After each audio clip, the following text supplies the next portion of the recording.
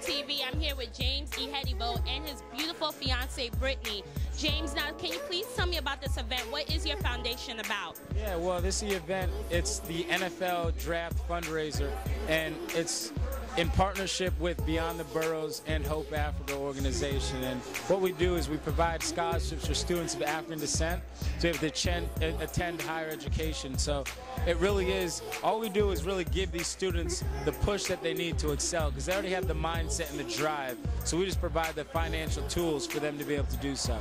Now, when did you start this foundation? We actually started in 2008, but for the, the time period till now, it really took us time to really figure out what we wanted to do in terms of structuring these scholarships. Because we didn't want to develop a platform where we just put a band-aid over issues. We wanted to do something where we perpetuate the cycle of education. So these kids, well in, after we're gone and, and passed away, that the cycle is still going on and they're giving back. They're developing platforms where they give back to students. And the essays that we receive from these recipients in terms of how much they want to give back and what they plan on doing with their scholarships, it's, it's amazing. So it, it really is. It's a blessing.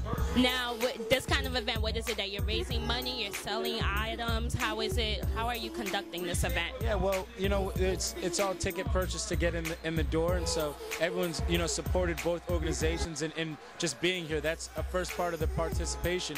But then we also have a silent auction with great items. We have you know Ray Lewis autographed jersey. Um, we have Ed Reed signed cleats from breast cancer awareness. Ray Rice signed jersey. I mean, the the the, the items go on. I mean, we have tickets for Yankees games, you know, and, and so it's great. I mean, we have we have partnerships and help from all over in every sport to be able to do this. Now, tell me, what is the name of this foundation? So, how is people from the outside that's not in this event can give back? Yeah, it's um, it's Hope Africa USA, which means helping our people excel. It's an acronym for that. And you can go to www.hopeafricausa.org, and you have all the information from the um, um, the the students that we've given scholarships to, excuse me, as well as as well as our board members, as well as everything that we've done since 2008 to get to this point. And, you know, and definitely get involved. There's ways for you all to get involved, volunteer, make monetary donations, and, and, and help change lives, truly. Well, there you guys have it. We're here with James and Brittany, the beautiful Brittany. And make sure you guys give back. www.hopeafrica.com. Go on the website. And you're helping kids. We're trying to make everybody become a brand new person so they'll be able to give back. Till later. Bye. Hey everybody, it's Q here with QTV. I'm here with Tutan Reyes, an NFL veteran. He's been in the NFL for 10 years, and now all he wants to do is give back to the community, give back to people, help kids grow and become a better person. Now, can you tell me about this foundation that is going on today? Yeah, um, name of the organization is Beyond the Boroughs. Uh, it's a national scholarship fund. We award up to $20,000 over four years to students with an unmet financial need. So basically, you don't have enough money to attend college. You have a college acceptance letter, don't know what's going to happen left. Uh, excuse me, what's going to happen next. We come in and give them last dollars in, give them the money that they need remaining to attend college, and then they're able to go to school and pursue their dreams. So any student can apply to this. It's not designated to one country. It's all over. It's a national fund. We've had students from Tibet, um, Tibet apply. We had students from Korea apply, and from about I say 40 of the 50 states in, in America apply over the uh, last five years. So we're getting the word out there. Anyone can go to beyondtheboroughs.org, uh, fill out an application, and hopefully win a scholarship. Now, what's the maximum amount that someone can apply for? Well, it's up to $20,000 over four years. So uh, basically, it's up to $5,000 a year. $5,000 a year. Well, so with this organization, so it's any school, any student, anywhere around the world. Now, how do they go about qualifying for this position? You have to have at least a 2.5 GPA in high school. You have to have a college acceptance letter. And what you do is you go online uh, to beyondtheboroughs.org, fill out an application and a brief essay on why continuing education is important to you and on an obstacle that you've overcome. Once you do that, our board reviews the, uh, the applications based on the need. We find out who needs it the most, and then uh, we send them to school. And how many scholarships do you give out a year? Uh, it depends on how much money we raise. So that's why we have events like tonight to hopefully raise as much money possible to give out as many as awards as possible. Currently, we serve 24 students across the country, and we've begun our scholarship for this is our fourth year actually giving scholarships out. So it's only for high school students. College students may not apply. No, if you're in college as well, you have that college acceptance letter, and one year, you know, you're just kind of struggling that year, the financial aid didn't come through, or Pell Grant, and you need a scholarship, you can also apply at beyondtheboroughs.org. He said it like five, six times, beyondtheboroughs.org. I'm here with Tutan, and make sure you guys go to beyondtheborough.org. Till later. Bye. Hey, everybody, it's Q here with QTV. I'm here with Imani Showalter from Basketball Wives LA. Now, Imani, tell me, what do you think about this whole organization and event that's going on today? Um, I think it's amazing, especially since both of the guys are from Nigeria. For them to come together and throw this amazing event is wonderful. Now, tell me about your experience on Basketball Wives. Um, Basketball was an experience. um, it was really nice um, as far as the friendships that I made with the girls. Um, you know, I still consider most of them like a sister. I talk to them all the time. To me, that was the best part of it. A lot of stuff that they didn't show of us bonding and the unity and the sisterhood that it created.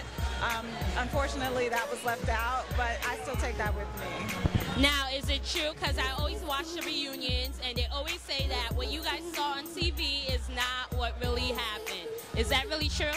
I mean, obviously it's us, and we're saying what we're saying, but you know, there's a lot of editing involved in it, and you know, you're getting, you know, a couple of minutes of like a three-hour conversation, and so it kind of creates a storyline, and I get it because it has to be entertaining at the same time. So you know, and, and honestly, reality TV is kind of set up to kind of entertain the masses. It's not about you know butterflies and hugs and kisses. You know, it has to be entertaining, and you know, they do a very good job at making it entertaining. now, now, do you believe that you know how the whole thing that's going on saying that reality shows are not real? Do you think it's 100% real since you've been on one? It's reality. it's not real. It's reality. I mean, you see a lot of infighting and you know negative stuff going on, but behind the scenes, a lot of the girls, in my experience, have you know wonderful people, great people, people I still call sister and friends, and I'm still in touch with. But I don't think that makes for good TV. So.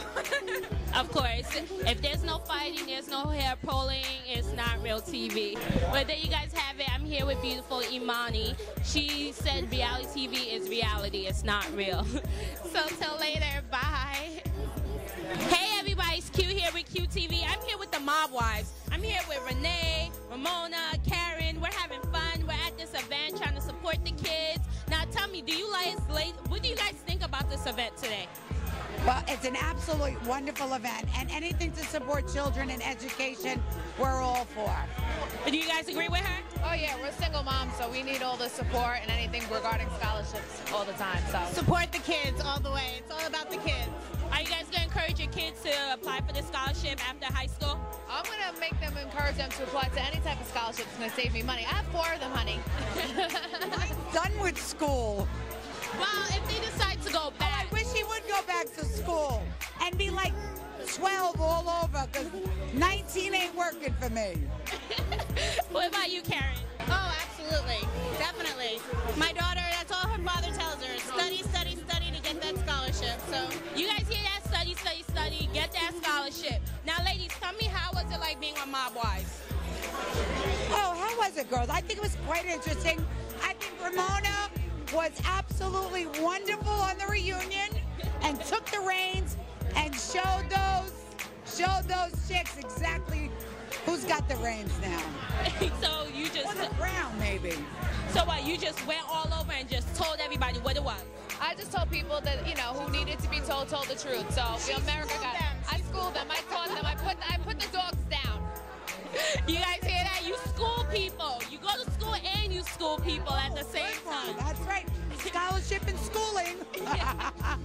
now you know the whole thing behind reality TV. They say reality TV is not real. Do you guys believe that, or you guys believe that your show is 100% real? Our show is real, but the only thing that uh, what happens is people on our show think that there's something that they're not. So in their mind, they're acting. They think that there's something. In reality, real life reality, they're nothing. They're peons. There's nothing fake about me. I mean, I think we all saw my story unfold from surgery to my ex-husband. So if that was scripted, wow. Wow. Academy Award, I need a check. we're gonna get her Oscar, Academy Award, everything, Golden Globe. That's what we're getting. Golden Gloves. Hey. Sometimes I wish I can blame it on a script, but unfortunately, it's all ah, me. It's all real. Well, as we know, Mob Wives is 100% real. It's not like the other shows because these ladies keep it 100% real. Their husbands is going nuts. Of course, they gotta go nuts at the same time, right? Not a husband. I'm single. Looking. Yeah, she's looking. Make sure you guys hear that. well, there you guys have it. I'm here with the beautiful Mob Wives. Make sure you tune in, watch your show, support kids, scholarships, make stay in school, and also school people at the same time. Till later. Bye.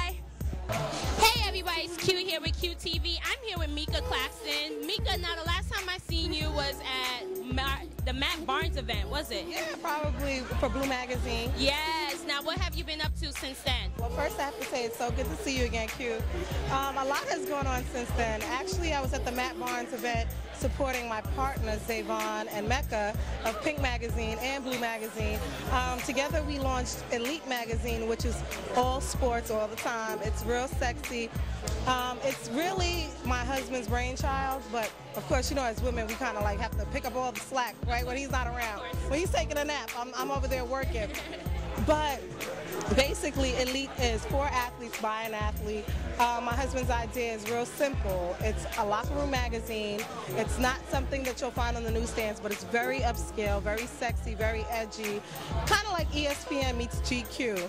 You know, we have a little wives lounge section that we call it, so it's like, you know, a little high-end stuff. You know, we partnered with Ace of Spades, Armand de Brignac for our events. Like, it's really dope. It's, it's been really amazing. Now, this is an online magazine or an actual?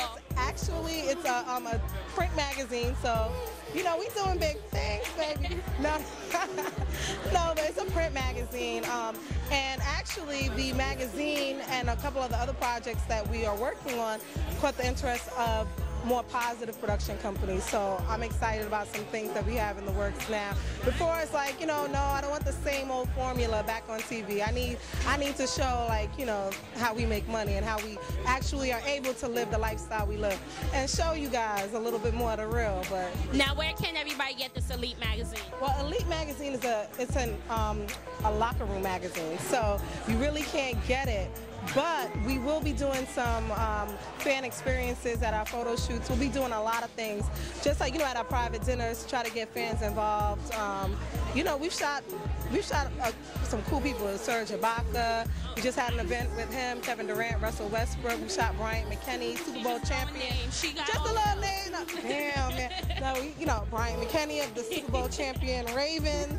No, we've shot some great people, so I'm excited about it. I really, I mean, business makes me, you know, I love. I love, I love it. I love entrepreneurship. So You see, well, there you guys go. We're at an event. Out scholarship for people to go to school, stay in school, and after you out of school, you're doing your own business. You're making your own money. No worry about anybody providing for you. You do it all for yourself. And Meeka's a great example of how to do it by yourself and look gorgeous at the same time. thank you, thank you, thank you. but there you guys have it. Till later. Bye. Hey everybody, it's Q here with QTV. I'm here with a beautiful international model, Clarissa Rosario. Clarissa, now tell me, what are you doing in life? I am traveling the United States of America right now. Um, I'm currently with uh, Monster Energy as a spokesmodel, so pretty much every weekend I'm in a different city. Oh, that's awesome. Yes, doing appearances and signings. And this week I'm here uh, for NFL Draft Week hosting a huge event that I did last night with Antrel Rolle from the New York Giants. So very exciting. Now, as an international model, you're traveling all over the world. Where where are you exactly from? I'm originally from Boston, Massachusetts, but I live in Los Angeles. Nice. Now, what international state have you been to? I have been everywhere, but my favorite place that I've been to is Dubai. Dubai. Everybody always says that. What is it about Dubai? Like, I know it's so pretty, it's glamorous. Like, what is it really about Dubai that bring that basically sucks everybody in?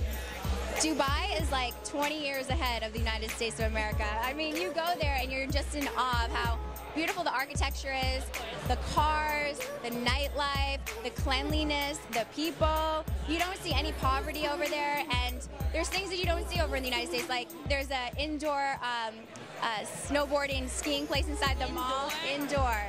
And um, I'm going to Dubai. I'm going back to Dubai. now, when you were in Dubai, what is it that you were doing out there?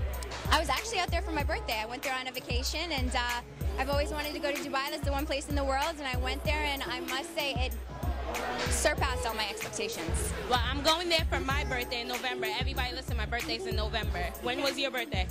June 28th, so it's coming up, Cancer. She's coming up. I'm November. We're going to be in Dubai. Now, tell me about this event. What brought you to this event today? You know, anything to do with charity, I love coming out and supporting, and you know, especially giving back to the kids. I have my own foundation that um, I just officially launched. It's called, yeah, it's called the Ali Mo Foundation. It's uh, benefiting uh, pediatric brain cancer awareness. So um, when I heard about this event during draft week, I said, you know, I'd love to come out and show some support. Wow, now, what is it that you normally do with your foundation? How do you raise money for it? Well, we just launched it. So yeah, so it's brand new, yeah. Um, but um, I can tell you how it came about. Um, a little girl by the name of Ali Rodriguez um, just passed away um, in June of this past year from uh, brain cancer, and her and her family came into my life and um, I really wanted to help raise awareness and uh, decided to name a foundation after her. So, wow, that's amazing. That's really, really amazing. Now, since it's just launched, do you have a website yet? I do. Um, you can find me on my website, CarissaRosario.com. My Twitter, I'm always answering back to anyone who tweets me at Carissa Rosario, and I on Instagram at Carissa Rosario. Yeah, that Carissa Rosario. Everything Carissa Rosario. So if you want to give to her foundation, Carissa Rosario, hit her up on, on Instagram, Twitter, everything. She'll respond back to you. We're here. We're having fun. Till later, you guys. Bye. Hey, everybody. It's Q here with QTV. I'm here with Elle Varner. She is a musician. She is this beautiful artist. Now, Varner, tell me about your journey coming to become a musician and an artist. Um, you know, it really it wasn't easy. As easy as it was, it wasn't easy because I got signed kind of like Cinderella style. I was discovered and working in co-check and everything happened so fast and even still it, it takes a minute, you know, to do what you want to do. But I'm um, working hard and, and staying strong and, and doing my thing. Now, as a 24-year-old, how do you feel about this whole organization with Hope Africa? And the whole Beyond the Boroughs giving scholarship to students? I think it's so important. I mean, going to college myself, um, I know that I needed help when I was in school. I needed to feel like people cared and, and took time out of their lives from their fabulous lives to, to give back to students. So it's wonderful. What kind of quote do you have for those out there who are really struggling and it's hard to get scholarships and they're like ready to drop out of school and everything? You can have anything you want if you're willing to work for it. Well, said it from herself, Elle Varner, you can have anything you want if you work for it. She was discovered in check. Like, that's so amazing. Well, you guys, we're here at this foundation helping raise money, helping everybody in Africa, helping students get scholarships to go to school. Till later. Bye.